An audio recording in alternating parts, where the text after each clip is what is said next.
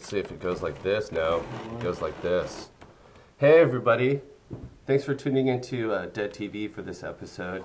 Um, as more people tune in, hopefully. Sitting next to me is Andy Votel and um, from Finders Keepers Records. Do I have to turn it more to get you? No. There you go. That's pretty good. No, I'm halfway. Good, good body language. Maybe we need backup. We need good body step. language. Yeah. Mm. So, anyways, I like I like how there's a red split behind us that you have diagonals and I have a vertical. Looks like we're on. a, it's, it's like an American news program. Well, you're going to Yeah. see when we do a phone call that Yeah. it will actually be like that. There'll be two squares. All right. Okay. Um, anyway, so you know, Andy's got this label, and he he finds this stuff that's really interesting. A lot of it's really really good. These gems, a lot of people would call. Some people call that diggers, like diggers, crate diggers, and all these different things.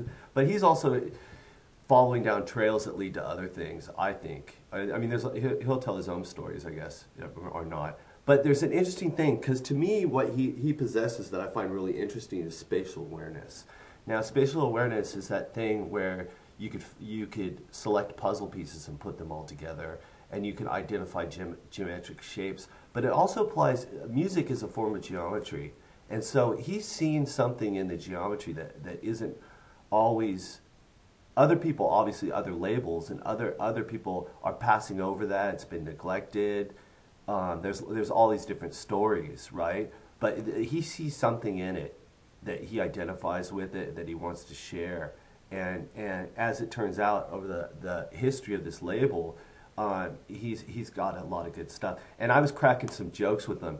You see I really also like from time to time in America, there's these guys, finder, finders keepers, that have a record. I'm not finders keepers. That have light in the attic, you know, um, and they, they have a little uh, a little shop or whatever, and they won an Academy Award or whatever.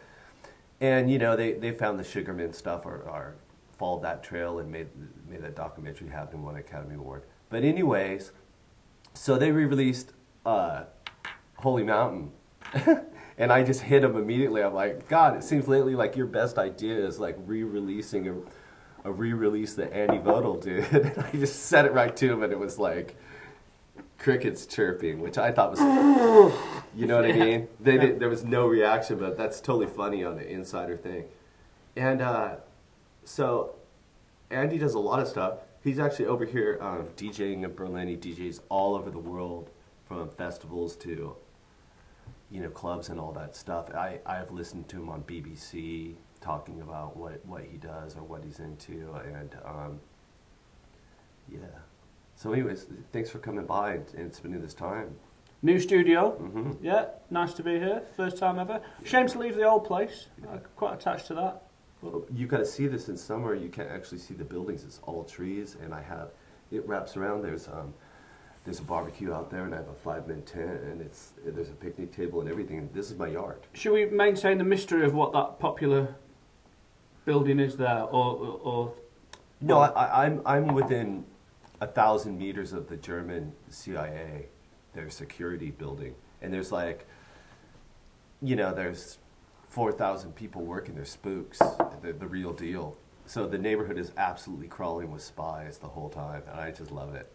So? If you know uh, your way around Berlin, you might be able to pinpoint our actual location. Maybe not. But I just But- love the uh, love the idea that every time I go to the Chinese restaurant or the Italian restaurant or the cafe, it's like I'm sitting there with real fucking spies. Hardcore. Yeah, yeah. It's yeah, like great, yeah. you know. It's quiet around here. You know, It's dead quiet. it's all underground, underground operations. I think. There's something interesting because there's this program. Uh, it's sort of an anarchist thing, right? Where they they believe that internet is a human right and fuck the system and all that stuff. So what they're doing is they've figured out a way to like you uh, build their own um, relay stations for Wi-Fi around Berlin. And it's like free Wi-Fi for all. Right. And there's certain people that host it, right? And there's a there's some illegality involved with it, evidently. Yeah, yeah. yeah. But anyways, there's one on the corner. I don't get to pick it up.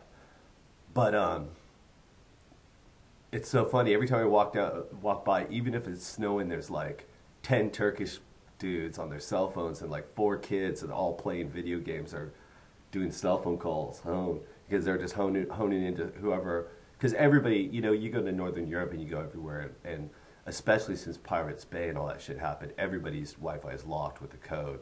It's not like Ricky and I used to go on tour and with there was a there was a year of Black Max. I still have it if I could get it fixed. I should do it. But there's one year of Black a Black Macintosh lap, laptop, and I swear to you, I'm not kidding, right? Ricky and I traveled all the way around the U- U.S. and we could get on anybody's Wi-Fi just from the Mac. You just keep hitting it, and it would just like cut right through, like the, you know, when it asks you for a password on the Yeah, network. yeah. Once it identifies the network, it just logs on. So what was that like? A mistake, like a quirk in the uh, earlier computers, or?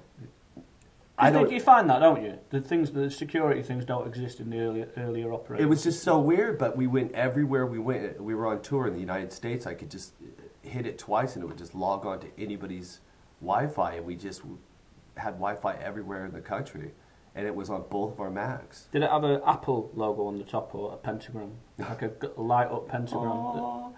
Yeah, it, uh, penetrate any I'm doing this any wall? fucking insane virtual reality thing. Um, you know when I, you didn't pop in and look at my thing, you were too busy, right? At Liverpool. I No, no, yeah, sorry, yeah, yeah, yeah, yeah. We've yeah, gone yeah. times Right, one yeah. million now. Right. I'm going to Iceland on Tuesday Right. because we're th- Michael. What happened with Michael, the guy who does the actual graphics and stuff, is this program came out, you know, and it basically it, it, it, it does the framing for the architecture. So imagine you're working at a company and you're making the next Grand Theft Auto. It's going to build the frames for the houses and the outline of the car, and you can Ah, slap right. video on it or JPEGs that'll wrap around people or anything, you know, turn them into real people Right. there's a new one that's not even out that, for developers, and so he's a professor here in Berlin and, and a couple a couple universities in Germany, and um, he gets this thing. He doesn't have any interest in using it, but there's you need to develop a, a, a dialogue, a mutual um, terminology, a vocabulary in sciences and stuff, so people know what they're each other are talking about. In music too, you're like play more blue or whatever in jazz. You know, Yeah, imagine yeah, yeah. Bird or somebody trying to describe the shit he's Yeah. inventing. You know, like you, you got the players they develop a, a method of communication. Anyways, so he just looked into this program and ends up mastering it in 20 minutes. So he applied, starts cutting apart this shit that um, we had already done, and it's like holy shit. And he starts like turning it into like some things into like these the sand painting mandalas, but visually, this inc- he's into. I, I don't want to describe it all. So he shows it to the Whitney, and they go, "We'll buy it right now." Right. Okay, so then, so he has a meeting with these guys from Facebook owns Oculus, and they're like, "We'll just give you as much money as you want right now." Wow. And now Apple's so hot shit on this stuff, and they're like, "We want this shit," and we're like, "No." So we have this meeting about what we want to do, and it's basically, it's a, I'm calling it triad, and it's about the the the Babylonian space gods who created genetically modified us uh, from like basically pre Neanderthals, one of those million missing links or whatever, to be a slave race, and then as we evolve into this digital god thing that these other Satanists are really into, they're copying every single thing, and, and I could explain that in depth. It's really far out shit, but there's these futurist people that want to evolve with technology. Uh, it's like imagine playing Sim City with artificial intelligence, and you're creating digital beings, and you already have pictures and photographs and everything that Earth was like, and you're co- making combinations, and you're the computer is making a universe of itself forever, and then the computer is actually you can make it biological, like binary information. It could be genetic. See, so there's there's some mad shit I could I could turn you on to some. Mind Mindcraft. Mi- no, it's, it's But beyond that- Mindcraft. Right now, just with the video game controllers, each one, everybody's home computer can, can control 10,000 artificial intelligence. You could just create 10,000 beings and set them in a planet. So if you hooked, like within 10 years, they have enough home computer games to create everybody on the planet Earth and everything that everybody's taken in Facebook, every photo of every piece of information, they can apply that in there. Do you see what I'm saying? Yeah, yeah, yeah. And run simulations of everybody on the planet. Everything they see, every angle from every cell phone picture, every single angle Yeah, yeah. in the universe put into perspective Yeah. of everything going as far out from everything they've ever taken and just put that as in a computer running its own reality as if Satan could never be destroyed like this dimension. Anyways, far out shit. So, having talked about that, here we are, man. Should we play should we play um some kind of music? Go on, go for it. Okay, let me see. Okay.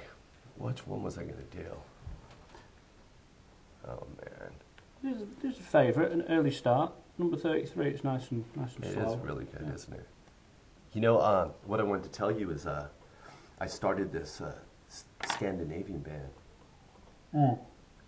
with um, Emil from Serena Maneesh. They were Right. on 4AD. Yeah. And his girlfriend, Amelia, and Emily, I mean, and um, my other friend. And so all all the singing is going to be in the in the Scandinavian Nordic tongues, Right. except for the really great songs are going to be in English. right, yeah, subtitled. So, and she's like smoking hot, and, and is gonna just this is gonna kill it. And Emil is such a good. He just produced Todd Rundgren. He's off the hook. Right. You know, he's a wizard. But I'm just saying, fuck that. When was the last time you sat by a fire and played acoustic guitar? Right. Like, let's just do this and make a bunch of songs because we don't know. Because I want to have an acid folk band with Well- this fucking gorgeous woman from Norway singing these songs. Like, you know. Yeah, I th- you know, I think that's probably quite a good call. You know, the the history of Scandi music, Yeah. especially independent labels in Sweden, I think that's quite a good untouched place She's for. from Norway. She's from Norway, right? So, yeah, and Finland. You know, all those independent done it, labels. Yeah, yeah, yeah. But it's, I mean, you know, it's hard to do that acid folk thing now. But if you look at it from that me. perspective, it's a good place to do doing it from. I'm doing it glo- global, but the thing is, we're doing it in all the languages. I've already released in Swedish, Finnish, in um, Icelandic. See what I'm saying? I've already What- done what- those. I think we should play some Swedish stuff this afternoon. We'll get to it, but let's play this. Let's start with this one. Let's start with the children. Okay, here we go. Now everybody dig this. Woo.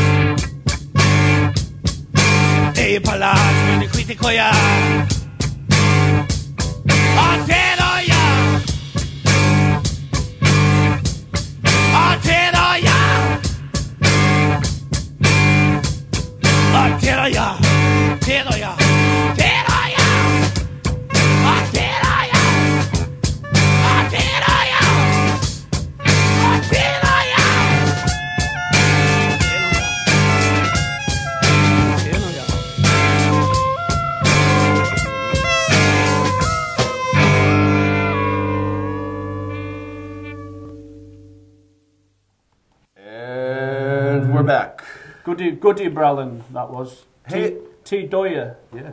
Uh, I'd never heard that before. that that is a homage to what is essentially methylated spirits that people drink on the street. Okay, they call it fishy, fishy wishy. Fishy wishy. Yeah, Yeah, that's yeah. what I call it. But Right, yeah. Fisker whisker. But um, Fisherman's Friend in Scandinavia, on the boats everywhere, you get vodka. They just drop the tablets, and also all in Scandinavia, people like licorice, so they actually Right. drop the the salt licorice in vodka. In Iceland, it's called opal. But I used to drink that shit. But I like to make it myself. In fact, at eight millimeter, I keep telling them, man, I'm gonna one of these days I'm gonna come down with my Brian Jonestown Massacre fishy wishy with a drunk fish. Fishy wishy.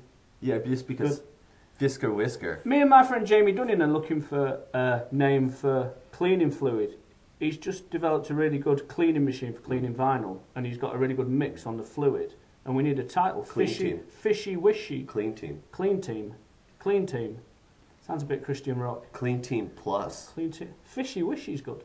T Doyer. is No, good- you know what you want. You know what you call it? Clean plus. Clean Plus. Yeah. Fuck yeah, you, you know what I mean? There but, goes but- the fear. No, but you just do like the Swiss fucking logo, so the plus is right there, and you just write clean with like Coca Cola letters. And then people are like, what's this? They read the back, and, and you just say, absolutely the best vinyl, whatever you want to say. Kaiser Ketchup, I'm going to call it. Wax Ketchup. It's getting Fishy Wishy is the name of the new product. Yeah, Clean, good. clean your records. Yardies used to use beer, didn't they? To clean 45s. Yeah, it, what do? Pour the beer on the record before they put it on the platter. It'll uh, play better. Yeast infection. You get a yeast infection between the grooves. So crazy. But yeah, Fishy Wishy. That was T Doyer by Goody Bralin. I'd never heard that. T Doyer. A lot of people say, is that Japanese? Sounds like a Japanese record. Uh, You know, I hope if any of you people have friends in, in Sweden or whatever, or friends anywhere, because Having friends isn't a prerequisite to watch this program. But by the way. we're we're, um, We're we're- your friends. We're going to be rolling around the world, the the universe of of music, because this will be online forever, and um, it, it it'll be good. So I suggest that you contact anybody who's just fucking off, maybe cleaning their house and just listen or whatever, and also I'll be recording this. But you know, I feel really fortunate to have Andy here because he's he has a wealth of information and an enthusiasm that's infectious. So, which are two things that I love because I love learning and I love sharing that, and more importantly, I love anything. To me, it's all folk music. We're the folks. We're the people, and this is a thing that brings people together.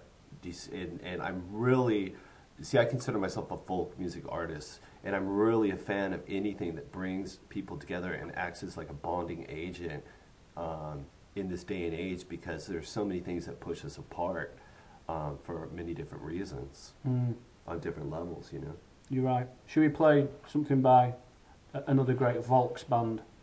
Yeah, these guys, Dungen, uh, Dungen, you know, the story about this band that, as I understand it, he was just asked. He, you know, he was he was a little bit more prog rock. in- He was in- a rap collector, you know this. okay. He's so- a UK rap collector. Okay, That's, but but musically, like he he's all over the map. But anyways, he was just asked to do a soundtrack or something from a film, and they said we want it kind of like this style of music, maybe set what you think would be seventies, kind of far out, fucking whatever. And and him and his mates just did this fucking record, and it's so good. And it it trans. Here's the beautiful thing.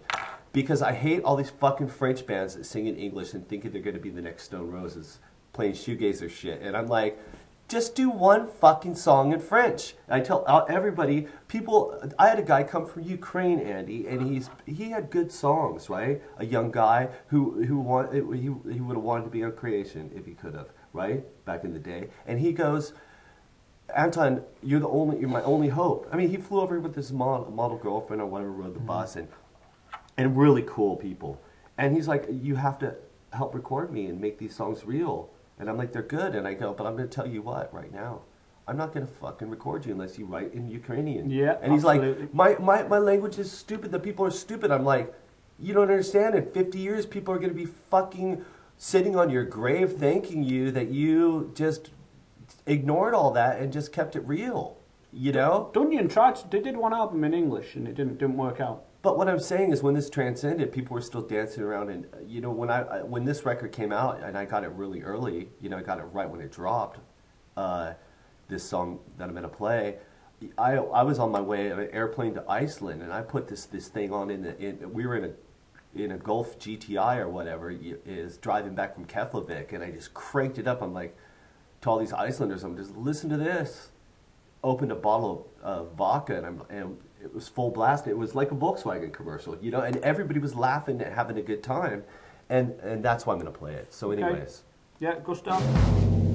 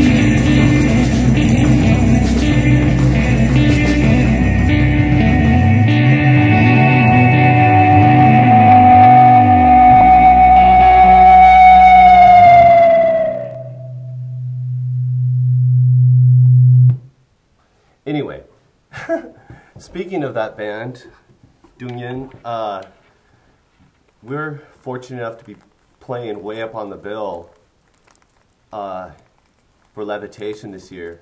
What a lineup they got going on. Dungen playing. Let's just find this really I'm quick. I want to show you this. I went on tour with Dungen. I, I bought Dungen's first ever album, private press thing. Genuinely thought it was a repress of an old record. For like this must be it's like 15 years ago. I put a track on a mix and I pitched it up by about six. Kind of sounded a bit smurfy. thought I try, I can't, I try, I can't. I don't know who these guys are. They'll never find out. They won't be uh, offended. Yeah. The guy rang me, said, You pitched my voice up, I sound like a smurf. But they were quite happy that um, You I'd used it. But it was a, a DJ mix Yeah. full of like old prog, and then there was just this one track standing out. So great. and I felt defiled. I felt like they'd cheated me. My- But we became friends. Rainer, great, great record collector as well. Yeah, my friend, my friend is their sound man. He lives in Berlin. You know, they when if they tour outside of Sweden, Mm. they play to like you know, 30, Big. 40 year old crowd of Yeah, sort of arty types. all kinds of but people. but when they play at home, Yeah. it's young kids in the crowd. So they're almost like got a pop following in on their own turf. It's a total different demographic, It's so cool though. and everyone is singing the words yeah. along to what they're saying. Yeah, but I, but I'm so happen. into. it. I want to just emphasize again. I'm so into this. Um, you know, like I'm constantly dragging people into my studio to sing in their native tongue as a part of my group um, for two reasons. One of it is to like, I believe that like one of the ways that you appreciate culture in many different ways is to interact with it, and and Andy does that nonstop. It's like, it's more than just sitting on your ass on fucking Spotify and then you notice what somebody else, or YouTube, and you notice what somebody else is doing, and you appropriate their culture as your own culture, and go, look how cool I am, you know? Because I've had that happen. I'll tell you this story. I used to date this girl. Her name was Tara Subkoff, and she was an actress, right? And she was a Ferragamo model, and now she's a movie director. She just did this um, movie called The Horrors with all these kids. She did um, um, East Coast Girl, and. Uh, you know, I had all these records, like original pressings and stuff that I would listen to before they, they, they even reissued it. You know, like the, oh, the, the Kinks or it could be Scott Walker or whatever. So, you know, we would hang out and I'd always be playing something weird, right? Weird only in the sense in the, in the 90s that, that it wasn't as popular as it became. That, that shit just snow, snowballed Scott 3 and all the Scott stuff Right. and everything. You know, but there were obviously people uh, throughout the 70s and 80s that, that loved it because look at David Sylvian. I mean, he's just like fucking echo of Scott Walker in so Mm-hmm. many ways, and his, in his demeanor and his. Yeah, yeah, yeah. Okay, but anyways, so we break up, you know, and that goes about its way. Then all of a sudden, I'm wa- she starts dating Wes Anderson, and I'm watching this fucking movie, and there's my whole fucking record collection and his, as a soundtrack to his goddamn movies up until he did Life Aquatic, where it switched to David Bowie, and I was like, I'll be damned if that isn't every fucking record in my collection. What a coincidence. What's that film? what's that film with Joaquin Phoenix where he plays like a, a sort of crooked cop? Quite recent. He's like this generation's Cheech and Chong or this generation's Fear and Loathing, and it's like about this. Co- and Joanna Newsom does the narration on it. You don't know? It's, anyway, the soundtrack to that film mm-hmm. through Can, Minnie Riperton, whatever, was like track for track Yeah. a, a, a cassette mix that we had at art college when I was 16 years old. Total fluke, but Yeah. track for track. That isn't a fluke. People do this. Well, I don't know. Shut up. You're anything like see. Uh, before we, we we got on air, I was telling, uh, trying to tell you that I would hook you up in Stockholm at Riche to come up and DJ, and I was telling you that you know it's a good time and the guys, like when you come to DJ there, like the guys are working and the owner's gonna come walk by and be like, "This is a great night. People are drinking. We they're staying all night. Everybody's having a good time. I want to thank you so much for doing this. I want to see if you'll come back. They're they're like that with me, you know. Yeah. They're like, we're so happy you're here. Oh, oh yeah, they feed you like a five star meal, whatever you want, and Well, that's important. me- Yeah, menu, yeah. like world class. Mm. You know, I, I start out with like fucking fifteen oysters. then- the hook. You know There's what I mean? the hook. But like anything, do you know what I mean? It's like like Michelin. Yeah. Okay, so, but the coolest thing, or the weirdest thing, was I'm playing and three guys from Spotify are just like sitting right in front of me, trying to figure out what my set was to make it because they actually get paid more than the artists to make content sets, playlists, and they're just figuring out how to rearrange it. And, and here's the thing that gets me when people do this, and people do it in my chat room. They're always asking me what I'm playing, what I'm playing. People will take my exact same set and then they'll put some crappy song in it that I hate and completely wreck it. Well, And you see it online all the time. Yeah. But but anyways, I don't care. But I always just tell people to fuck off for various reasons. A lot of it has to do with whatever the long arm of the law. It could be anything. But this is an educational show, and anybody who wants to look backwards at it can see we're we're talking and informing people about different things. There's antidotes and. Uh, there's conversation, and this this has to, more to do than this is this isn't piracy in my book because I don't even if I skip this up to YouTube, I don't have a content deal with YouTube, even on my own music. I'm not. I don't use YouTube as a monitor. Uh, I refuse to, to do a content deal with them. And they won't kick me off because periodically, did you know I have the most popular uh, YouTube channel in Germany? I, I crack the top 25 all the time. Yeah. Yeah, if I put out a video, you know that the counters aren't even accurate on YouTube because like I, I can get like a million spins and they won't even register them. And, and a lot of times it's because aggregators, if something's put at the same place, it counts as one spin for me, Wow. not for a fucking Rihanna. But if they put me in like Brooklyn Vegan, that counts as one view instead of like mm-hmm. fucking 325,000 views at once.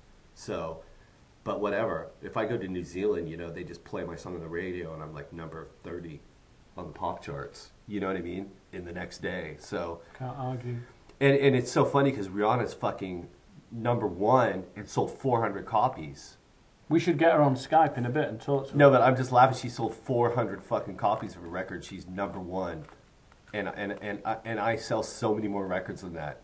I, every time I press them up, I sell so many to- more records than that, and I'm never number one. I sell so many fucking more records than that. It's just a joke, and they they they leaked title her whole album, so you didn't even have to buy it, and then counted that and said, oh, she's gone platinum because everybody was curious. So they all pressed a button to go, oh my God, it's the new Rihanna. And then all of a sudden, she sold 400 copies, and they counted that as like, oh, this is the number one record in the world now. Well, the, the record, a, a track on our label on Finders Keepers by Bruno Spoeri recently got sampled by a very high-profile rapper, and they gave away the first zillion copies free with mobile phones.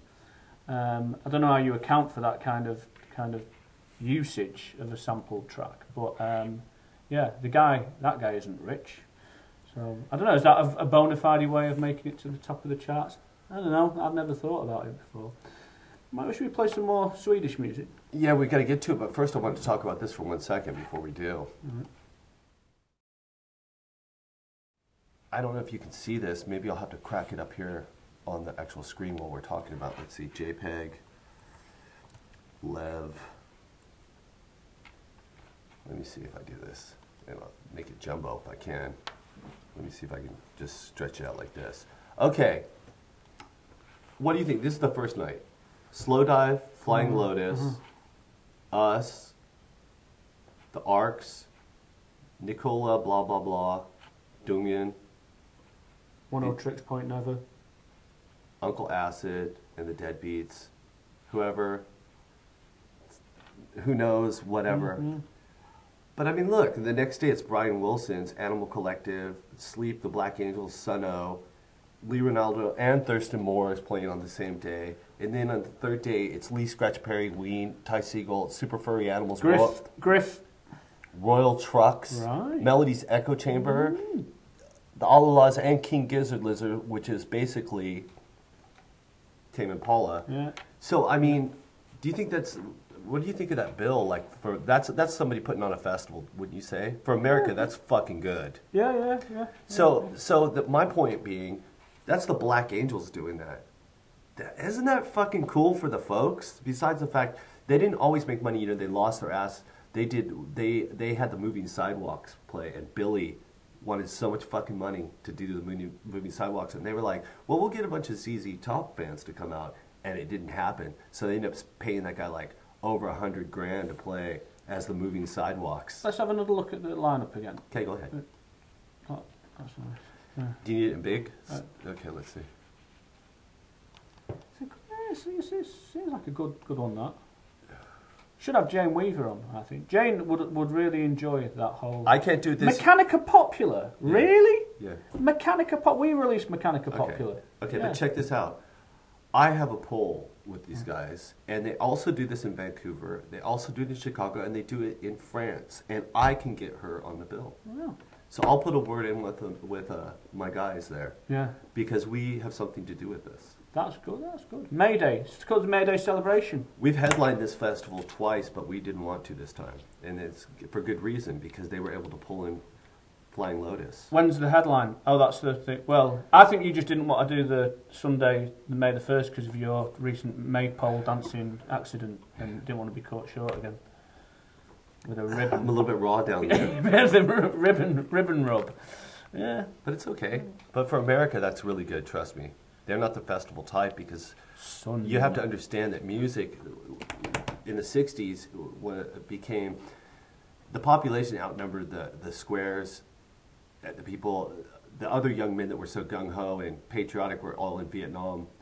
And um, the young people who were questioning what was going on going believing that possibly we could follow the protest leaders and, and change the world and stop this war sort of shook the establishment. And music became associated with revolution to a certain extent. And they it went from being no age limit and 13 year olds going to concerts to 21 and over. And your opinions are, are completely formulated by the time you're 21. So that nipped that right in the bud for the most part. Um, But so festivals are considered like these hotbeds of drugs and violence and, and problems. Um, occasionally they've happened, but I, I always, my, my manager, T- Ted Gardner, invented Lollapalooza. And I remember when it was going on, I considered that to be divisive and not all inclusive. I didn't think it was as open minded as they were portraying it because it, it, it, it, it, it, was dumbing down everything for everyone because you could still have a mind blowing act. You could still have Red Hot Chili Peppers and then do something else. And I think that Glastonbury, on its parallel trajectory of of Lollapalooza, blew it out of the water in, in a lot of different ways. But it, it's still conservative, you know, and still at the same time was able to squeak by not only the local community but the um, social, you know, requirements. I guess uh, the civic requirements of, the, of the, not only the council but the government just to have that many people in one place, and they've been doing it for so long. But a lot of these fe- festivals in the UK and Europe, all just completely blow that away, and and the, and the population doesn't even know it. And and the the apex of that can can actually be like the actual pinnacle of this whole thing. You know, we played at this place in Ars, at this fucking festival, and there wasn't anybody that I wanted to see really. Uh, Nina from um, from the Cardigans was playing, and I'm friends with those guys. So I was happy to see her, and because she lives in New York now, not in Europe, and, and I could catch up with her, and she was doing her disco thing, and it was it was fine. And um, but the thing that was we were playing, and I, I, I stand up on this big, massive stage. They're equal sized stages, and they're just ages apart. There's a big hill in between them, but you can still see this massive stage, bigger than the pyramid stage at, at, at um, you know, Glastonbury. A big, massive stage, right? And I'm standing on this stage, and there's like 2,500 people sitting on the lawn in front of me, and it's about 6 o'clock, and I'm like, God, I hate when this happens at a festival. It's like, and this band's going all the way in the distance, and I'm like, this is such a fucking drag. Okay, I'm just gonna just play these songs. I'm bummed out because we only get 45 minutes at a festival, or 50 minutes or whatever, and I like to play for three hours and all this shit, right? And all of a sudden, the the shit, the music stops on the other side of this giant, you know, we're in like a state park or whatever, and all of a sudden I see this this wave of people coming over the hill. And it's everybody. It's like 220,000 people coming to our stage. And it's like, whoa, or however, 80,000 maybe, you know? And it's like, whoa. And then I start talking to the, the, the, the DJs from Copenhagen and stuff, and they're like, oh yeah, man, everybody's out because it's just beautiful weather. They don't care what's playing. They want to see all the bands, and they want to have all the fun, and they're going to drink all the beer, and they're going to fuck all night. And that's what the, the, the, that's what they want out of a festival. And I'm like, that's so cool. He's like, yeah, we just put on everything. You know, and we put on some stuff that some people want to see, and we put on stuff that we want to see, and we everybody has a good time. And There's I'm this like, fest- you know this festival Gagnef that's up in the north of Sweden. That's an incredible thing, and that sort of like that really does harbour all them initial intentions of the of the self-made Swedish progressive rock movement. But it and that's what it is. And but I was there with the Dungen guys, Yeah. and Gustav played this amazing UK hip hop set. Daddy Freddy was there, Oh. but then Neneh Cherry, Don, who's obviously Don Cherry's daughter, I- was there for the Swedish. Don lived on the block in San Francisco in the Lower Haight. How crazy was that? I used to live like two houses down from that guy. But then you know this band Circle from Finland.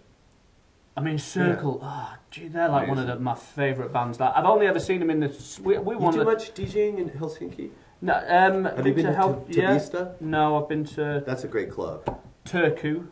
Yeah. No, Turku is incredible. You, And got to go in the summer, summer right before the big holiday, and do Tavastia because they have another room for DJs. We'll set that one up for us. Finland. No, but it's it's it's a magical city that that the, the, all the modern parts when you're just roaming around in Helsinki and the the daylight's there. It's the best vibe ever. You're just like walking down the streets, going, "This is so fucking cool." Even though the guys are maniacs, but you're just like, "This is so much fun." I love it. So cold. So cold. Is it this time of year? I remember. I love it. Yeah, getting spittle on my eyelids and seeing if they'd seal up. I, And love, it I did. live for the It north. like that, I love I love it. In the crowd with there must have been a sixty-year-old guy who was about as big as a tree. You know the big guy in the Wicker Man. I've seen- like that. I- and then like a eleven-year-old kid, and we were down the front watching Circle, who's a band who I've only seen play to 30, 40 people outside of Finland. In in the north of Sweden, there must have been about three, 300 people, 400 people in this really packed tent, which was really cool. Sami people. More than that, 2,000 maybe. It was insane. And we were down the front. I, I crowd surfed. That was only a few years ago. It took me a week to get back to myself. Amazing. Big guys, young kids. What I wanted to say was twice in Iceland, two times, three times, okay, but two times with people, I've seen two human forms materialize out of nothing into physical form. Absolutely seen it. Absolutely true. One time was a giant guy who must have been almost seven feet tall. In the middle, we, me and Bjarki were fighting 20 Lithuanians with all these people in a, a circus when the Lithuanian mafia was pulling some crazy fucking bar fight in my friend's club Right. and, and- and pulling a hit, and um, we were like, "No fighting in Iceland." And Bjarki's big and crazy, and I was just grabbing people from behind and like kneeing them in their spine, like doing that stuff because they were busy trying to punch an Icelandic. You know what I mean? I was doing like the full Yeah. martial arts Spine, western shit. You know what I knee. mean? Uh, uh, But but I was I wasn't fighting it, boxing to be face on. I was like playing dirty tricks, going no fighting in Iceland, and just kick them as hard as I could in the fucking. You know, like balls and slam their head into a wall and go to the next person. I threw a keg at somebody. It was all this A funny thing-? A keg. Oh. Like an empty keg. You Cake know- would have been nice. But um, the funny thing was, um, all of a sudden, this guy just comes out of nowhere. The biggest fucking Viking dude that, that I've ever seen. And he just like did not come through a door. He materialized through a wall. And I was just like, whoa. And just started just picking people up and throwing them. And another time I was driving down the street and I looked to my side and it was like this. I'm going to walk by and show you this. Let me see on the screen. It was like this. See how I'm not there? It was mm-hmm. like this. All of a sudden, it was a chick, like raven black hair. If you were doing some kind of like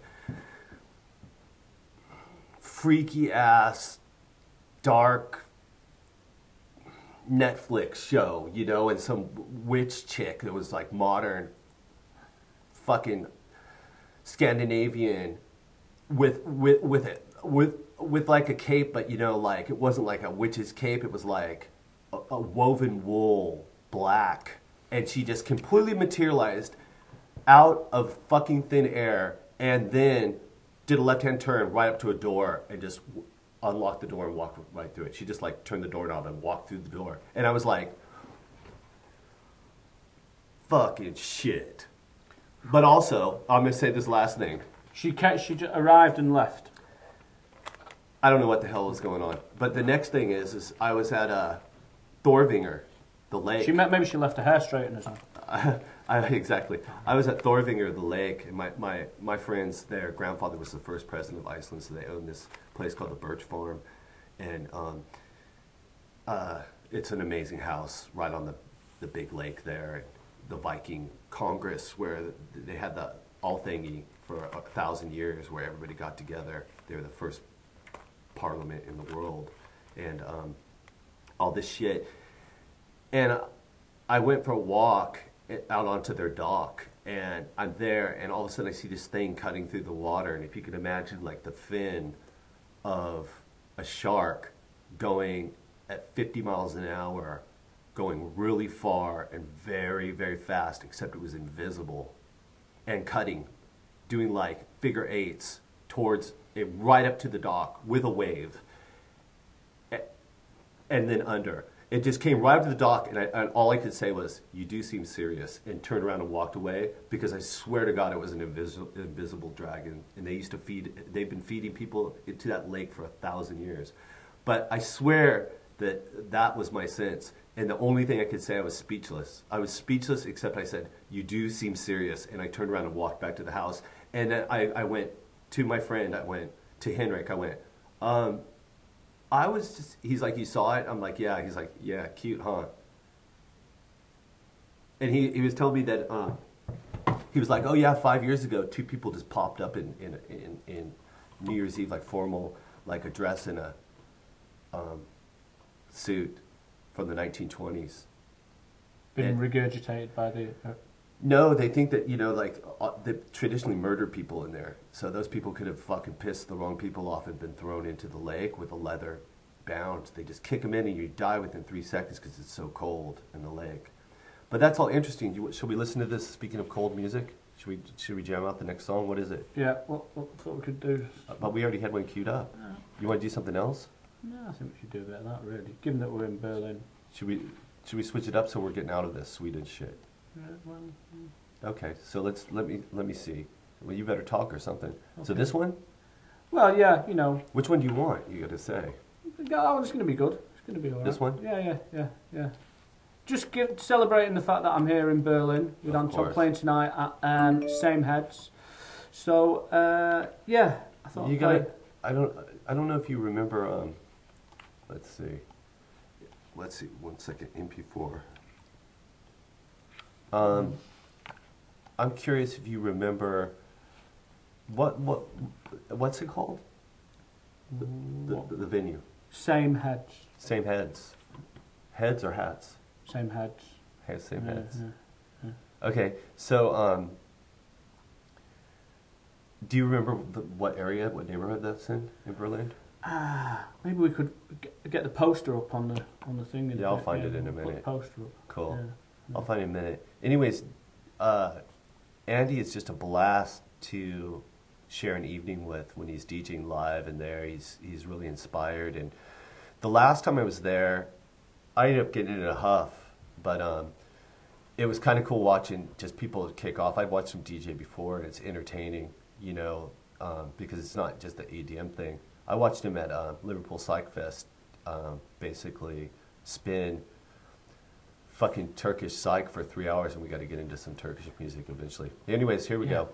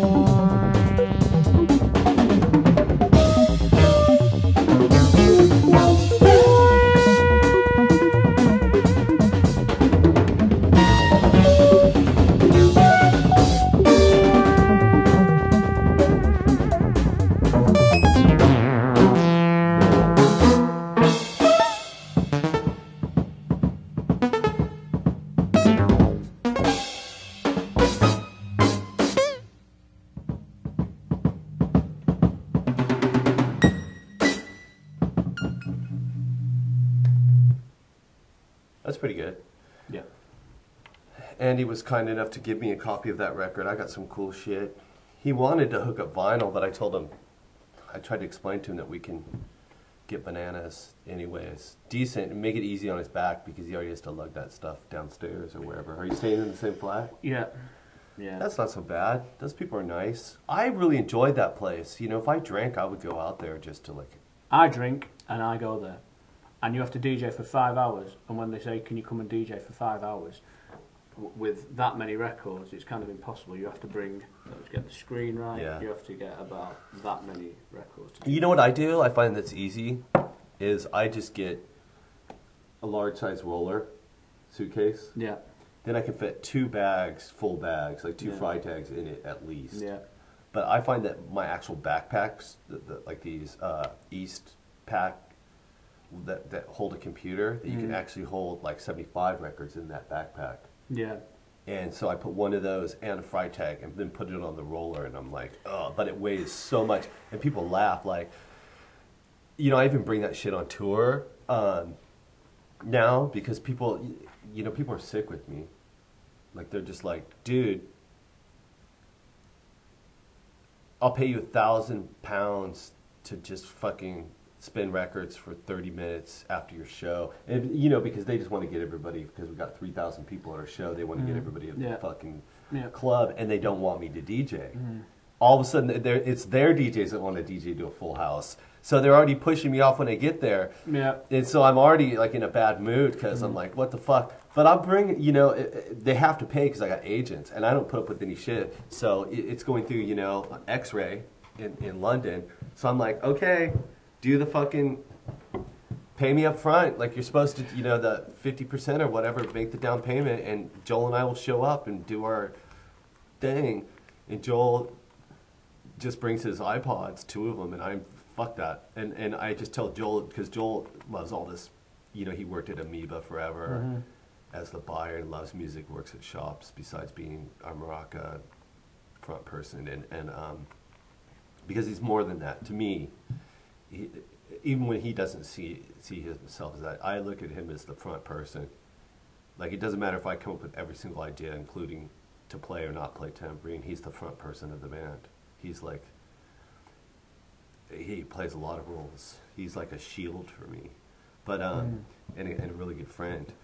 But he doesn't like carrying tons of records. He Like a hates bag it, on the and- front and, so- a bag on the back. So, but I just tell him, I'm like, well, I just want to go song for song with you, because I'll do that with with almost anybody except for uh, Andy. Andy's asked me a couple times to come down, and I'm like, fuck it, you'll just play everything that I want to play, or else I'll play something you were going to play, but you'll have 20 better things to play It's a different version of it. But Oh. then wait a second. So then um, it's so funny, but normal in the normal world, even like my friend Richard Bellia will he's he's like one he's the best black and white music photographer in France for the last fucking since the 80 1980 or whatever. And um, my Swiss friend flew us both in there to like he's my Swiss friend is now the best black and white photographer in Switzerland, and he's like 27 Medi, and he's he got picked up. now he's the official photographer for Montreux, so that tells you his level. Right. You know what I mean? Yeah. Like they could hire anybody in the fucking world to fucking shoot their goddamn festival, right? Yeah, yeah, yeah. yeah. Montreux. So they hired one of their own kids. So, anyways, he flew us in there to for his first showing of, an exhibit. There were some bands, and we were DJing, and Richard just brings a box this big of 45s Right. Yeah. but every single one is killer, right? And I just go, he's like, well, do you want to DJ first? Do you want to DJ last? I said, no, I want to go song for song. And he's like, why, why do you want to do that? I said, because I'm going to mop up the floor because you only have 45 records and I have fucking 250 with me. And no matter what you play, I'm going to fucking send you fucking scratching your head because you've already, you've already got, you just got this linear vision of like, I could play all these songs and it would be so good. And I'm like, okay, well, you got to break out of that box and realize that, that music is totally free. Sociable is what it is. It's like that's some people that you know they want to. You plan to do these sort of interactive social DJ sets because that's what they are. You know, you know that's where you're going to learn something. But some people want to take them on a journey, and it's all predetermined before. Well, I got uptight. house. I got uptight at where you're playing because your girl, she came in and I said, "Oh, cool," and I said it in that tone of voice. I said, "Oh, cool. I'm just gonna play these two more songs." She said, "No, you're not. You're playing one," and I went, "Fuck you!" And my "fuck you," I went, "Fuck you." And I said, "You know," I go, "Listen, I actually have a fucking life besides fucking retail." And she's like, and and I just like took off the music, and the reason why is because like, I'm stupid. I want to play like rock and roll by the Velvet Underground, and um, you're gonna miss me by the 13th floor elevators, and leave everybody on a, a happy note, and then the the next DJ could just play whatever they want, which is wonderful. refreshing, breathe, and just take it to the universe. But everybody will be bouncing and they can relate to the songs, or not everybody, but a lot of people. And and it just fucking threw a wrench in my whole thing because I just like to do it personally for my own mind. It, it leaves it for a high note on me, no matter what I've been playing. Because I'll start playing folk, sleepy folk music and bum everybody out and just go around the world. But there's a couple songs that I really want to hear when I'm spinning records.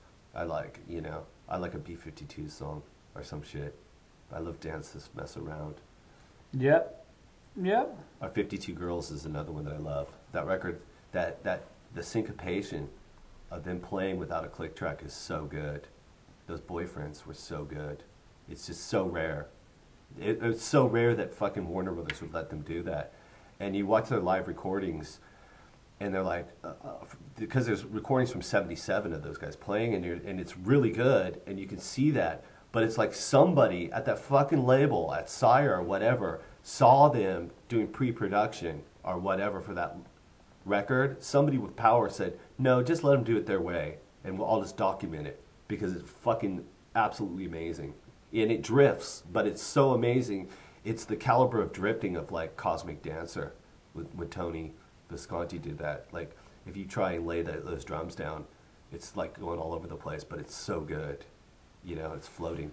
But anyways, evidently we're going to switch switch to Turkish music subject for a little bit. Yeah. And what I want to say, and then we can make some tea for you. But um, what I want to say, so you know, I moved to Berlin, and in Berlin, you know, it's the largest population of Turkish people outside of Turkey, and um, the Turkish people own a lot of the moving businesses. They clean out a lot of people's houses, and they so they have sales of all kinds of stuff. Um, and they they when they moved to Germany, Germany's not a slacker society. They didn't come come here to um, be freeloaders, so they integrated completely. Um, and so they have shops of all different types, and they brought a lot of their culture with them. And as people have grown up and old people have gone, you know, the records are all there. So the '70s records, just like if you were you found like Tom Jones records at Oxfam shop in the UK or something, you know, at, at some uh, charity shop in your own country, some old thing that you liked.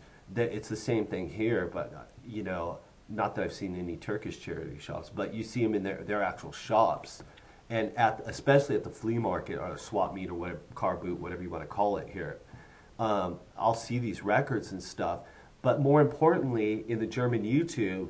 I just stumbled onto this uh, what they call Tülay records or whatever the fuck it is. Yeah, she's a singer. She did a lot of lot of records too. So, but I um, stumbled on it. I have this theory about YouTube. If I find three good songs in a row on somebody's channel, I'm going to look through all that stuff really quickly, poke through it, because for somebody to have that that aren't from a compilation record, for somebody to have that kind of immaculate taste on this geometrical level, when I identify that, it's worth my time to go. Well, I'll just click on a couple more of their videos and see what else they they, they see, you know. And Seva Marcus is good for that, and lots of different people. You know, the Icelandic guy that I told you about the um, that uh, Philadelphia story. Yeah. yeah, you know, like people that I knew that were into all your soundtracks before you start reissuing that, all that kind of stuff, because he was obsessed with the movies. All right. Yeah. Yeah. You know what I mean? He yeah. was actually, so he was totally into this whole European. He's a poet. You know, he's a, he's all that kind of stuff. You know, um, but so anyways, you know, so I started finding stuff, but then it turns out. So then I started talking to Andy about this stuff, and he just can blow me out of the water. So let's let's just start with something that I like. Okay.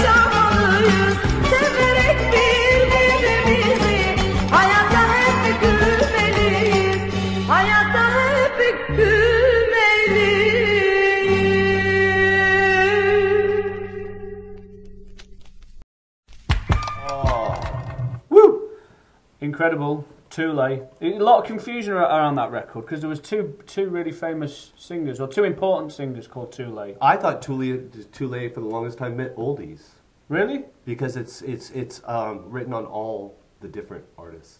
Ah, right. Two, really? Right. Yeah, that's what I thought. Right. Right. Tülay. There's Tülay. Because her name is Inez Fernandez. No, that's the name of the track. She's No, called Too Late. it's called Some. No, that's definitely the name of the track. It- yeah, that is definitely. Well, you can look it up, maybe.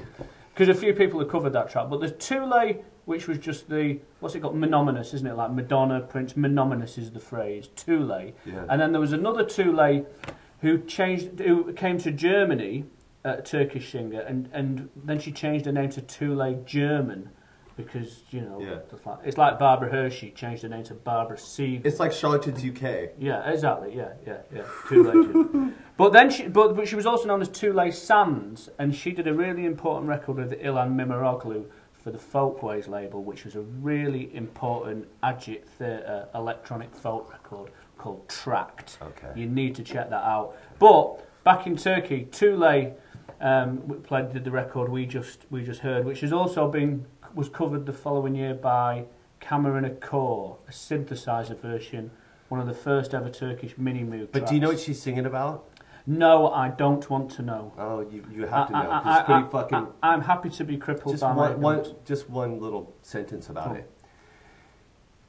The guy basically is lying to her, and she can no longer enjoy. And she gave her basically her honor to him, Right. and uh, now she can no longer um, enjoy the things that they loved, like Right. the coming of spring Right, and the right. walks in, among the trees in bloom, represent death to her. Right. It's so fucking great, right? Because I looked it up and was, you know, I was like, whoa. I looked it up. I was laying in bed. I googled that shit and then translated it. the lyrics, and I was just like, this is so amazing. The, the other version sounds a bit like Summer Madness by Cool and the Gang. It's got a high pitched mini moog, so the, the, the you know, Yeah. the They were melding of the two worlds is a bit weird. Yeah. Sinister vocals. I first discovered Turkish music in Germany as well. Hmm. In Dusseldorf, about 15 years ago, I heard Üç Hürel, uh, the, the Hurrell brothers, and, uh, and a pile of Turkish records. And that fuzz guitar sound blew my mind. I was like, how the hell? Yeah, can it-" But then I realised that it wasn't a guitar, Mm, it was it was a Saz going through a, Electric fu- a fuzz pedal. Yeah, But uh, you, but but the biggest demon fuzz, fuzzier than any, um, you know, Yeah. Jo- Jim Sullivan or Yeah. any of them early really heavy fuzz guitars. But they- they weren't. It wasn't a guitar. It was a saz or an oud or a lute. And when you put them all I got through a oud back there. uh, electric. Uh, I made it electric.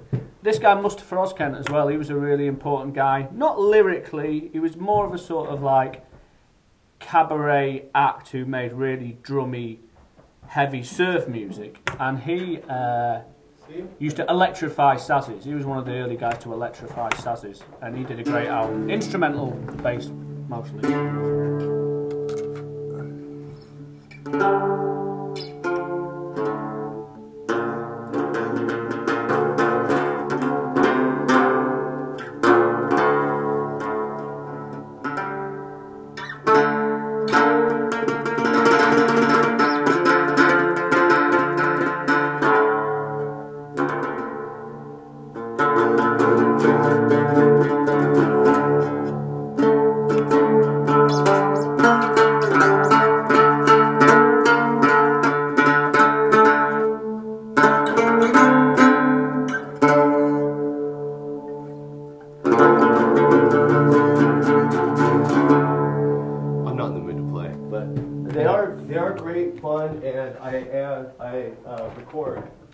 Rick Tomlinson, who does voice of the Seven Woods?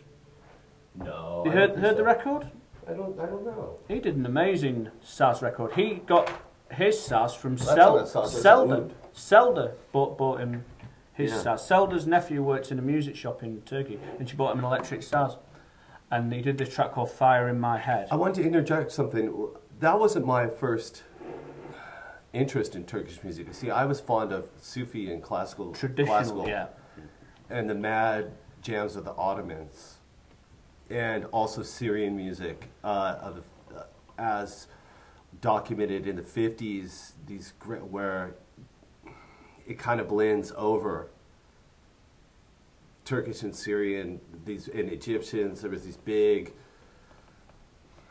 around the time of uh, the birth of, of pan Arab nationalism and culture and the Mhm. Yeah, yeah, television. yeah. Uh, There's a lot of these old clips and the music and these singers um, had had a broad appeal that that transcend. You know, Lebanon. They would they would in all these different countries. They were they were well known.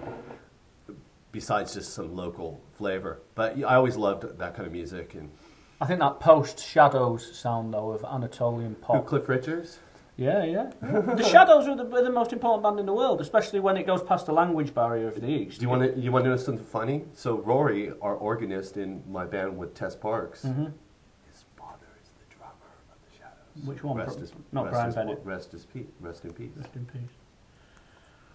That's his dad. Rory's dad. Shadows kill it. Well, Well, Brian Bennett. That's, so I'm one degree separation from the Shadows.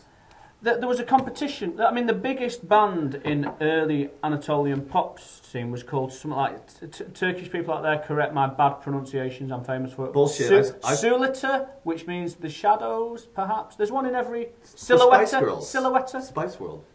Is that a Spice Girls were the biggest band in the history. apart from the Spice Girls. But yeah, when you get past all, you know, people think, oh, the Beatles. But when you get, I mean, no one in India wants to hear George George Harrison That's playing what they told me. Nobody in India wants to hear that. And that's what they told me when I uh, did my record deal with uh, TVT. I said, "Well, you know, I'm going to do this crazy stuff with these these guys that I know, and don't be surprised if I sell a million copies in in India on cassette or something." And they're like, "There's no fucking way. Not even the Beatles can do that." And I'm like, "Really?" They're like, "No, there's no way." Indian people have got no time for George Harrison to sit sitar playing. Indian people really like me. Indian people really like him. What can I say? I'm popular, just like my son. and I love the way the Turkish music industry in no way relied on what we know as the major music industry. They didn't need CBS and all them labels out there. They had their own things, little hand-drawn labels out, you know. I find it A lot like Wales. I find it interesting that the machine that makes kebabs was invented in Berlin. I love the way that karaoke was invented in Marple, which is where I'm from. Small middle class That's town in the northwest of England. I've just found a, a, a white sweet on the carpet in your. Is it safe to eat that from Anton fine. Newcombe's? It's not really a sweet. Don't know what's going to happen. My son picked these up at the at the chemist, and what they are is you know they're for, they're just pure glucose tablets. Pure, tablets. pure glucose tablet. It, they're good for you know if you need to, to regulate your blood sugar. sugar. Regular. Mm. You see what I'm saying? Intact. Traubenzucker. Yeah, it's like clean sugar. Clean sugar. You know what I mean? Here we go! I don't. You know, there's two types of diabetes where people have to regulate that stuff, and they with their blood glucose. Glucose, so they test it, and they're like, "Oops!" They take one of those before they do insulin or whatever, and they can go, "Okay," and that's like a safe way of doing it. But uh, my baby picked him up at at the pharmacy, so um, I gave him one because it wasn't going to kill him, and then I put him in my pocket and then took him away. Mm-hmm. So what? What about this next song? Well, Selçuk, Selchuk, he's a big guy. Selchuk and Rana, they were a duo. so if we back up, he was a big guy. What if what if he was like six seven and you said he- they they were a duo? I thought you said I did. a duo, A duo. as in Jews. a duo. no, no. See, I was like, what are you Oh. talking about? Duo. Um, but this is in with his orchestra. I think this is the, was the theme tune for a, a, a TV program about a train. It's what I've been led to believe, but it's a brilliant tune. Jews harp. I'm sure it's a Jews harp, or what's now Yeah, Jews politically correctly known as a jaw harp. But a lot of people call it a Jews harp, but instead of a juice harp because it's coming inside Juice. your mouth. Yeah, All right. but Okay. they do call it a Jews harp, which I don't even understand it because it's mostly in Western movies and in, in hee haw bands. When the when the the jaw harp or the Jews harp. I mean, there's a brilliant Ersen record. You know Ersen that play, they play the spoons. Yeah. It's one of the biggest, heaviest, raw, glammy breakbeat thing with playing the spoons over the top. This when you hear it, there's Turkish people. Please contact us by via the so, so, social media if there's another name for the Turkish version of a of a of a Jews harp, or if indeed this might not be a Jews harp. And it's a brilliant, brilliant tune. I'll be playing it very loudly tonight at about two o'clock in Berlin. Hunt me out. DJing for too many hours. It's going to be great. Should we play it? Amazing.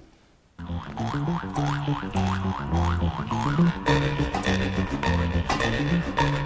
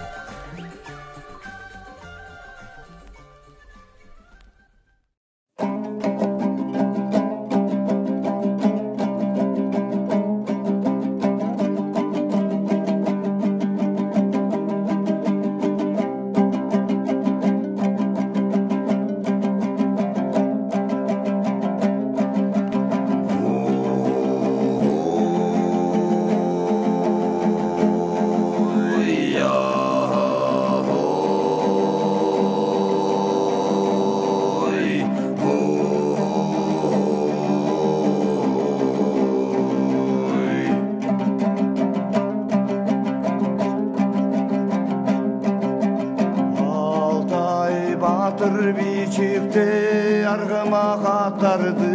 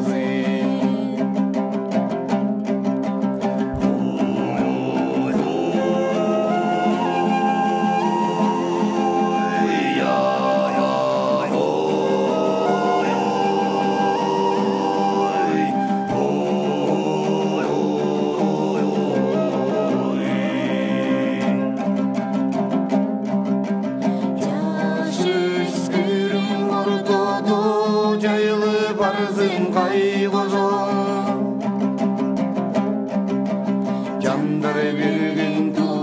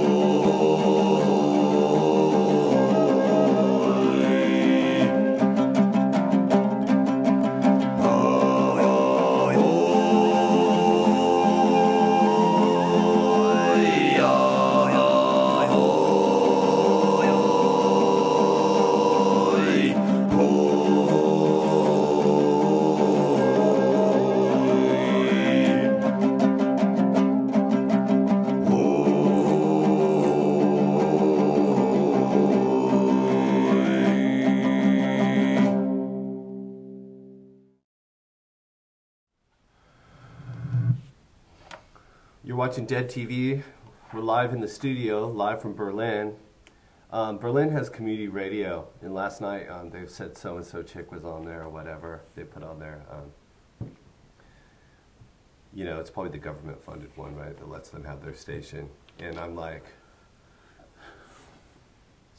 oh, so and so lady's got her DJ set, she's on her CD decks, and I was just like, right under their little announcement on Twitter, I just put, yeah, but, because I was broad- broadcasting, I just put my link. And I left it there for a minute, and then, then um, I took it off. But it's so funny. When, when I go on radio, I don't know if you feel this, I, but I can feel it. When I, either when we're playing live or I'm DJing on radio, because I do it. In France, I know it seems like I'm going off on, on a tangent, but I'll circle back around. In France, they have all these socialized clubs that the government, when there was money, um, built in all these regional towns. And there are these halls that hold about 900 or 1,000 people, or sometimes that big, you know, 700. And they'll have like a cafe and a radio station and a shop in it. And it's supposed to be like Yo Yo Ma can play there or Black Flag. But it's like acoustically tuned with the best sound system and full on catering chef.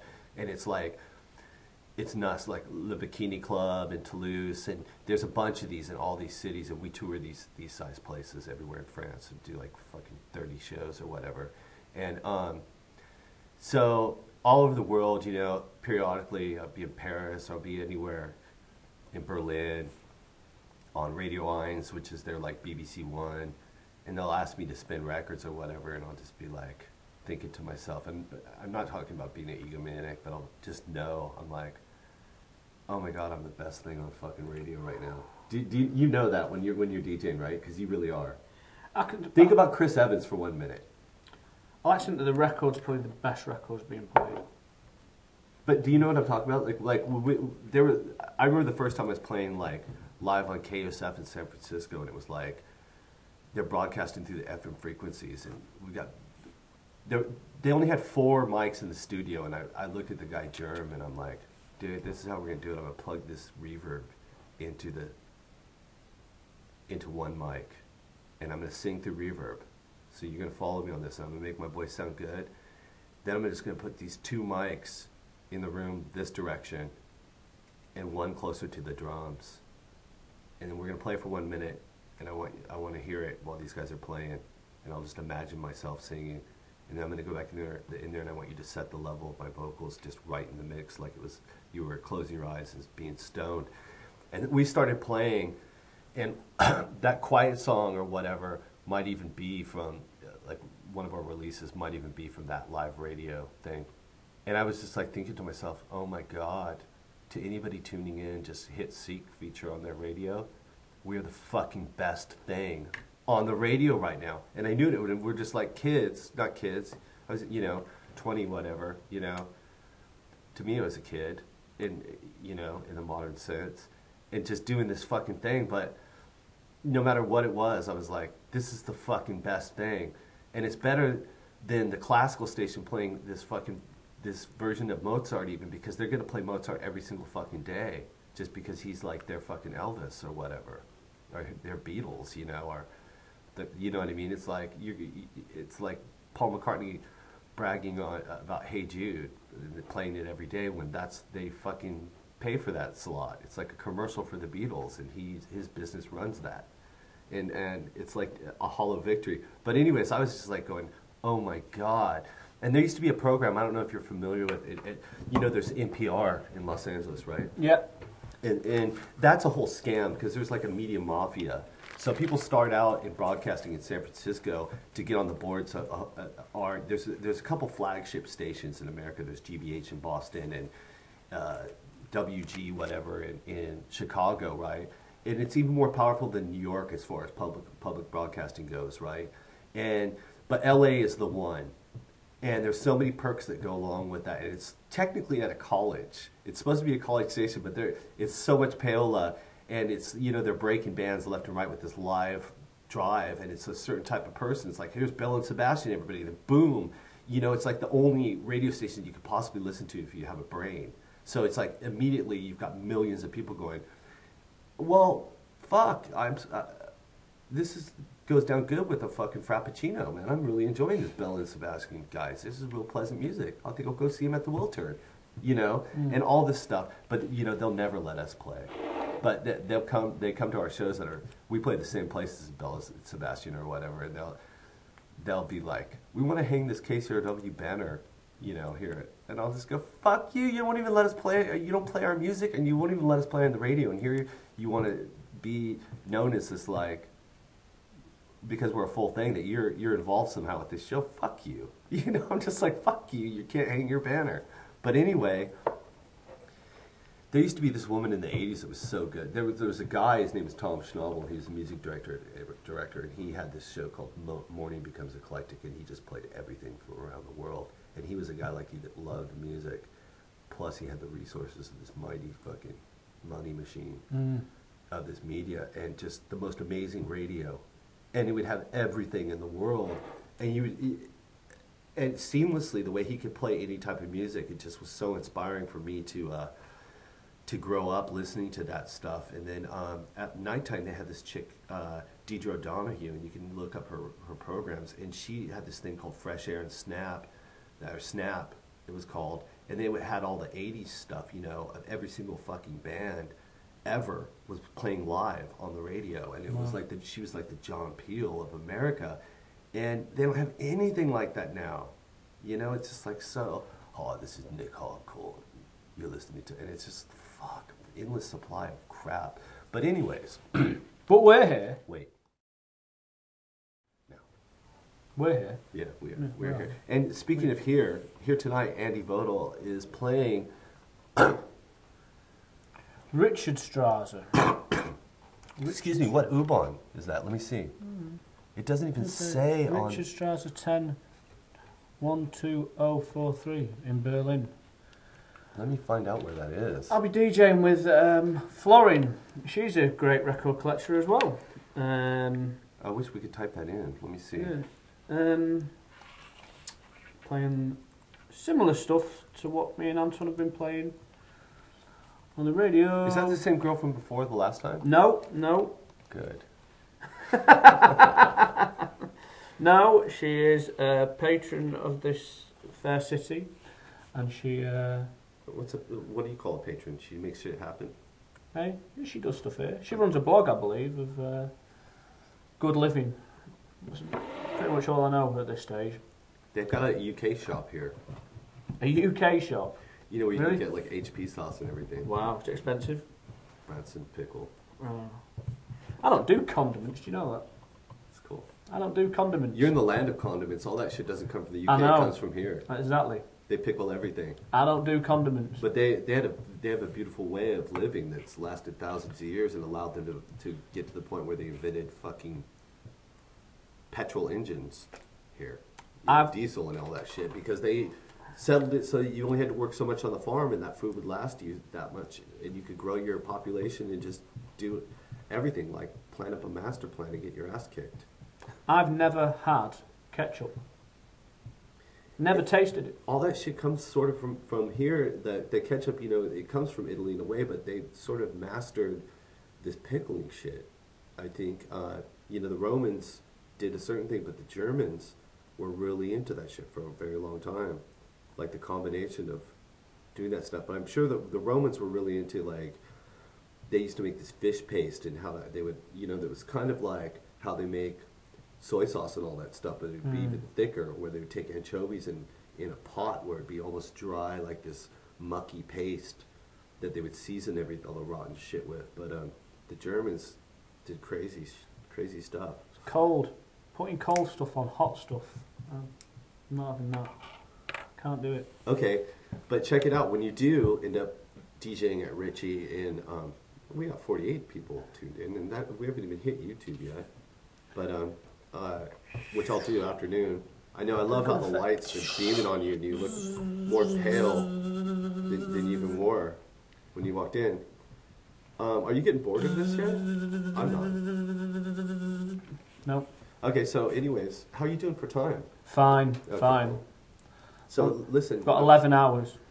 Got 11 hours to spare. Oh, cool. This is so cool. You know, because I'm just like a, a, a pig in fucking shit right now. Pig in shit. Um, because because I, I love learning about things, and, and, and like I said, I, I find enthusiasm infectious to a certain degree. Should we put that flyer back, that poster back up? Sure. Yeah. Um, so this place, this club, when you get in there, um, should you go, you know, if you're in Berlin and you want to tell somebody about this, if you could zoom in on this, take a screenshot of it. On Macintosh, that's uh, Command Shift 3. Have you ever done that when you're driving a car and you, you, you knock somebody over and then you just got Apple Z in your head? Like, yeah. whatever. Like, undo. Yeah, exactly. But um, anyway, when you walk into this club, it's what it's sort of you know. There's a bar there, and then it's like one of those cafes where they've taken a bunch of 50s and 60s and 70s furniture and said, "Oh, here's a couch here," and all this kind of stuff, and people are sitting at their tables, and people are standing up, and there's a, a, a- medium roar, a din, and then there's some music coming through the speakers, and when the DJ starts downstairs, that's piped upstairs, and they make cassettes of the DJ sets and sell them, and also previous sets if they do have them from, by the same DJs or um, DJs of note.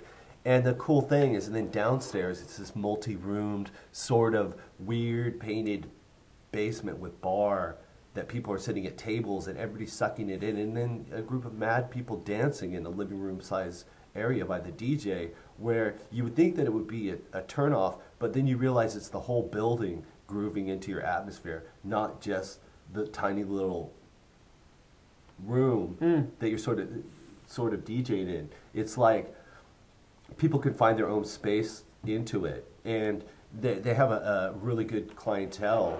Um, I would think that's a mixed match, and you can see like a, the real deal on just. Uh, you know, Berlin people, because I just saw all different types of people basically going in where I walk past events and there's one type of people, I call that FM culture.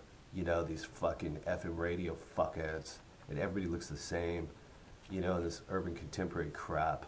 And everybody's dressed similar and all that shit. But this isn't like that. It's like you see all different types of people and they're just out to, to um, you know, enjoy music, which one thing that I really enjoy about Berlin um, that I came to realize from living a lot of places, including New York City, San Francisco, Portland, Oregon, Los Angeles, Orange County, of course, where I'm from, um, among other places, that, uh, you know, Berlin is unique in the sense that it's cool to be any age in Berlin. If you're, you're three years old in Akita, like my, my son, Wolfgang, his school is so cool. It's out of control. You know, they're so cool.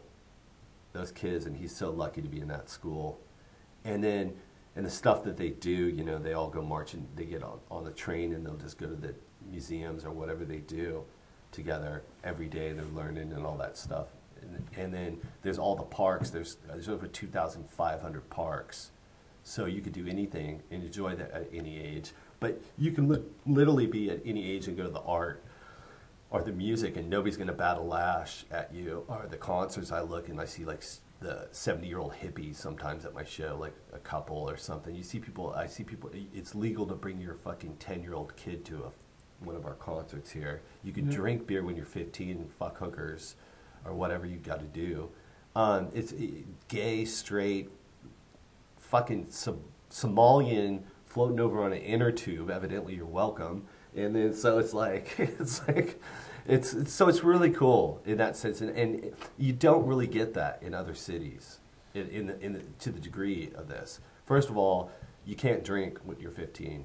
It, it, it, it, until you you know, like in New York City. It just in America that just doesn't happen.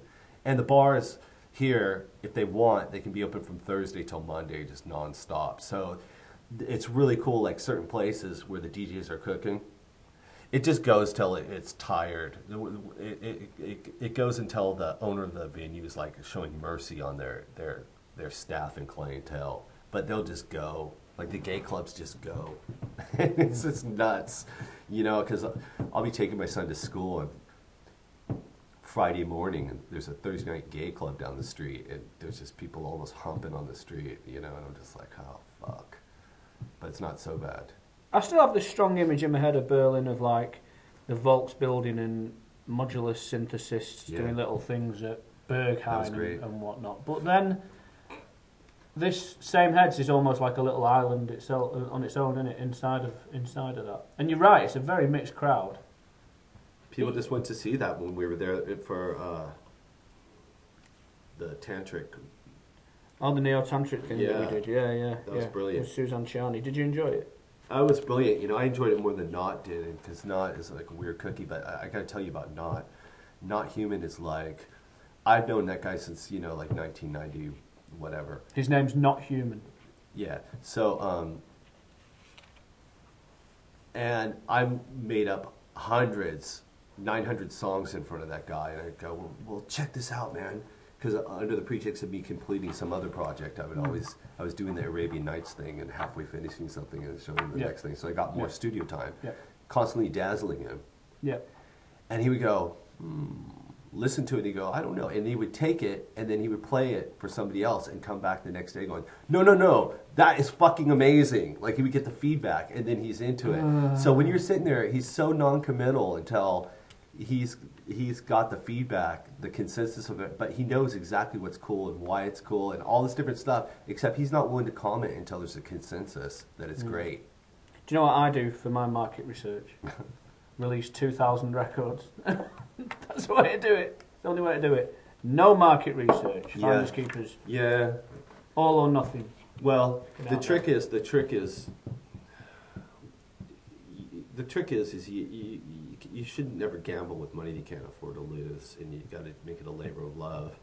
But then the next thing is is you know you want to be slinging 500 units at a time, but keeping a real eye on how they're moving and how you're shipping. So as they dwindle, you're reordering because we do it nonstop, and it keeps us always like on the growth trajectory, and um, like we have no unsold stuff ever. When I do represses, which is nonstop, it's I'm, I'm dropping over 80k, thousand quid at, at pop, you know. Mm. So it, it's nuts, and, and I'm doing other people that are unknown, and I'm not advertising or anything. So, but it's just like a theory. Are we we gonna rock something? What- Yeah. Did we already say that we were gonna do this one? Yeah, yeah. yeah. Uh, Okay. So are you gonna talk about what this is really quickly and get back to music? Mm. Probably going back to something you were talking to, talking about. So we check the chat room really quick? Yeah. You don't care? I've, I've never seen it. You ready? Well, let me see. The chat room. It's all new to me. Well, there's a lag. That's us on TV. Let's see. Okay. Here we go. A good question i that is Andy, would you ever put Paint a Lady out again? Yes, we're going to put that out again. It might have a different sleeve this time, but we're Oh. going to release that record again. Susan Christie. Yep, and, Yeah. and guess what? Here's what I say about that right now. I want to interject something. When you go into a shop, man, when you're thinking about releasing a record, um, you got to visualize. You got to flip through magazines. You got to see what the releases are and see if anything catches your eye, and then you got to look at a sh- at go into a record shop or two, and then look at all the covers for a minute. And you got to think about somebody with only so much money that doesn't have really a solid background on what they're looking at. And you want to dazzle people no matter what. And I explain to people in this fucking business over and over again, and they don't understand. I said, I tell them flat out, I said, I can sell a shitty record with a great cover. I cannot sell a great record with a shitty cover in a record store Mm-hmm. from a stranger. It won't work. Mm-hmm. You, it won't work in a million years. And they don't understand. I'm like, listen to what I'm saying here. You're gonna get. You're gonna fucking get people. It's like it's like having a it's like having a poster on the wall. People are flipping through, and you could just. And Andy's so good at that. So many times I've seen his flyers looking good. Maybe not the one for tonight, but I, I I like I, I I liked Holy Mountain, and I just saw the reissue, and I'm like, eh, you know, and and uh, so when he just said that he's gonna that he's looking at re-releasing the Susan Christie stuff, and and he said he was gonna redo the record. That's just an opportunity to even fucking make that more visually appealing, Yeah, because it's in this green color, and and it's fine, right? But you, it's so worth having. There's such a there's such an opportunity to like make it just mind blowing, and and you you just constantly have to think about that. And I know that there's always these traditional times where you're thinking of a band name and you're under crush, and that causes you to freeze. And the minute you make the fuck, you pick a band name and you settle on it, boom, you come up with a better idea. And the same thing happens with your cover. They go, we need it by this date, and you go, oh my god, I'm gonna fuck it, I'll just do this. And then you go, wham, you see a JPEG, and you're like, oh fuck, I should have ripped that off.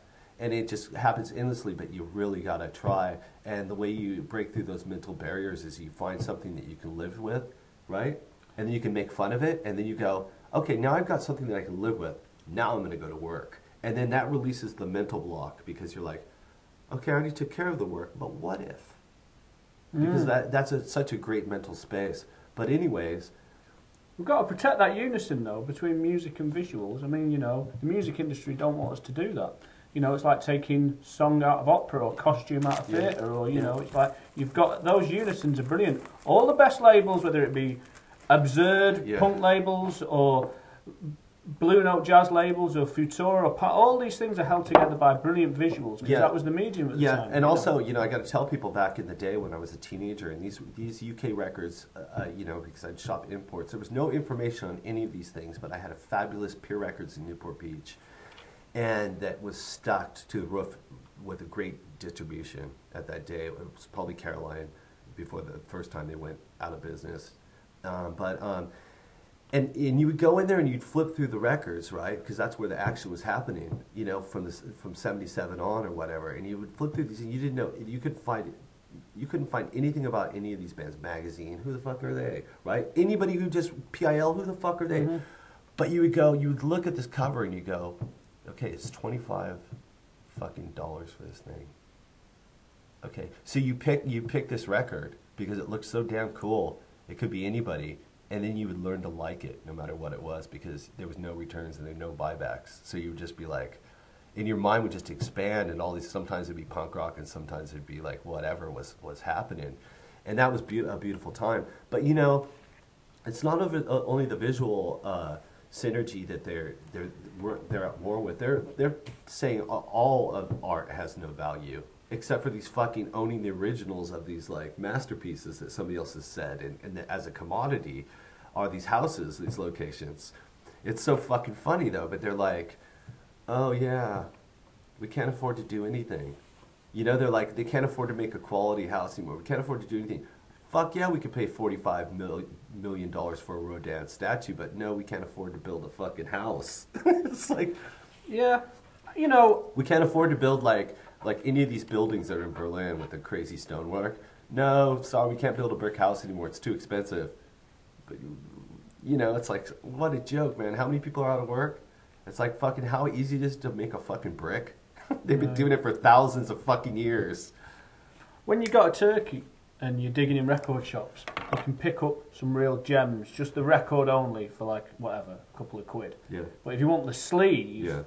they charge like 15 to 20 quid, maybe. It's the sleeves which cost you extra money. Or they'll photocopy the sleeves for Yeah. you. But I th- wouldn't be surprised if the music industry didn't start doing that. They should please start charging people for the covers. Because they don't want people, they don't need, they don't want to pay designers. I know that for a fact, you know. Well, they don't want to do anything. You know, it's, it like sucks for photographers and all this shit. It's all, all the media, like in magazines, like nobody will pay anybody anything to do anything. And they're trying to say there's enough music and enough information content that nobody needs anything. And it just sucks. The only money that they put into is like Justin Bieber or whatever the Illuminati agenda is for some bullshit Super, they're gonna- Super Bowl halftime. They're going to start charging Even Coldplay, even Coldplay is using Illuminati imagery of geometry right now on their record. Coldplay. It's like every the only thing that gets through now is this like gateway to this other thing. It's amazing to me. Gold play. And I think it's fucking bum play, Bum play. bum fun. Bum fun.